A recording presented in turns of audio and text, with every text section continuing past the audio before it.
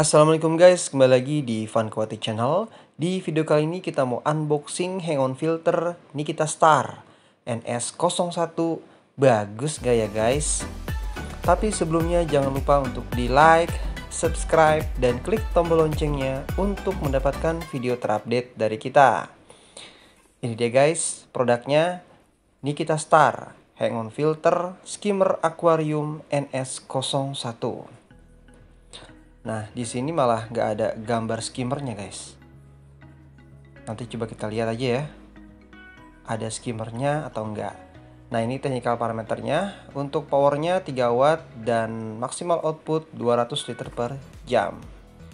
Di sini cara penggunaan untuk pemakaian ya, guys. Ini buatan Cina. Sekarang kita unboxing. Kita lihat di sini kita langsung dapat main itemnya nih. Nah seperti ini guys bentuknya transparan bening gitu ya. Kayak model-model akrilik gitu. Cuman kalau dalam pemakaian yang lama biasanya tuh banyak kerak atau lumut-lumut yang susah dijangkau yang sulit untuk dibersihkan. Gitu guys. Nah sekarang kita dapat hanya dua ini aja ya strainernya atau filter bagian bawah lalu untuk pipingnya nih inlet pipingnya.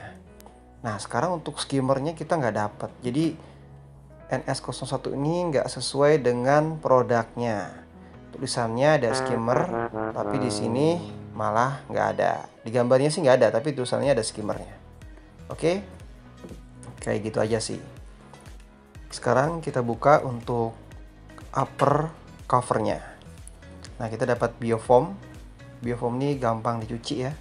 Dan nggak mudah rusak. Jadi kotor tinggal bersihin kotor tinggal bersihin. Nah ini pipa untuk inletnya. Dan ini ada pompanya nih. Teman-teman tinggal diputar aja. Seperti ini.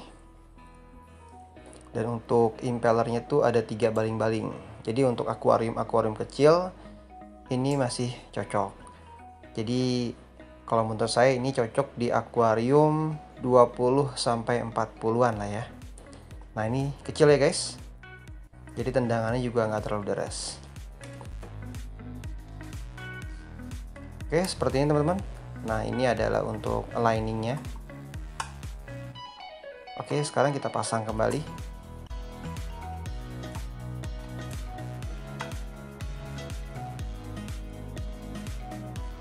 Cukup gini aja sih teman-teman. Untuk filternya cukup sederhana. Dan untuk cara kerjanya jangan lupa ini dipancing dulu. Jadi diisi air dulu di dalam filternya lalu bisa dioperasikan. Nah ini pengatur besar kecilnya arus di sini ya. Teman-teman bisa dibuat maksimal aja ya. Karena maksimal pun arusnya pasti nggak deras. Oke? Nah ini sudut-sudut seperti ini nih yang agak susah untuk dibersihkan.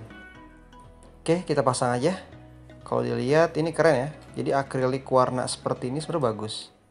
Nah untuk pasang pipa kembali harus seperti ini ya. Harus pas klek gitu guys.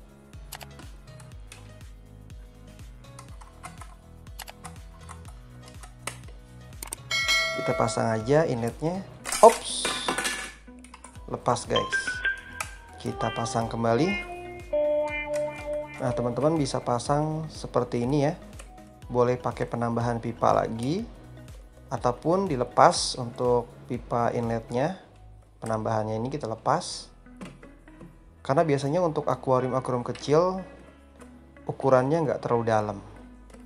Nah seperti ini teman-teman udah cukup. Kita kencengin lagi oke kalau teman-teman lihat ini mirip banget sama merek yang YP06 untuk warna-warnanya juga sama transparan kayak akrilik gitu. Sebenarnya sih modelnya bagus untuk di awalan aja sih kalau menurut saya. Ke depannya biasanya akan lebih cepat kotor warna seperti ini. Oke sekarang kita aplikasikan di tank Gex ukuran 450 mm kita akan coba seberapa deras arusnya cocok atau enggak di tank 450 mm Gex sekarang kita aligning position lalu kita buka upper covernya lalu kita adding water.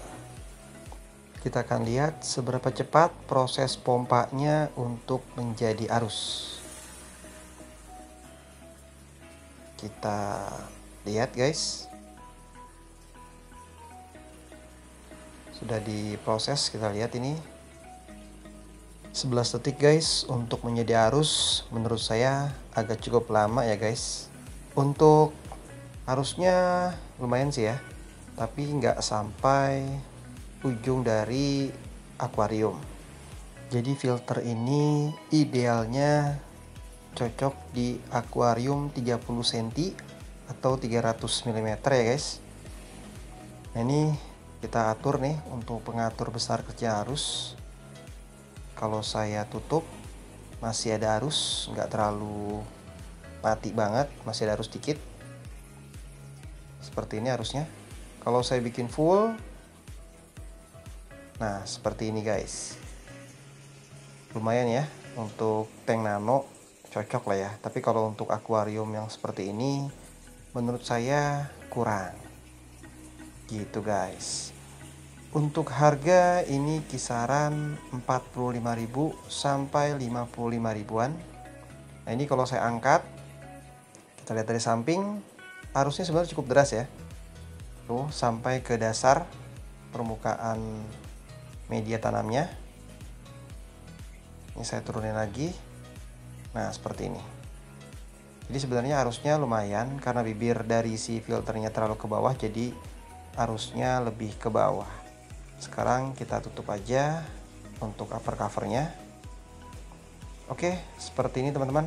Unboxing dan review singkat dari saya untuk filter hang on NS01 menurut saya ini cocok di tank 20 sampai 40 cm walaupun tanpa skimmer Oke guys, mungkin itu aja unboxing kita kali ini. Nantikan di video selanjutnya. Jangan lupa untuk di like, subscribe, dan klik tombol loncengnya untuk mendapatkan video terupdate dari kita. Dan share. Wassalamualaikum warahmatullahi wabarakatuh.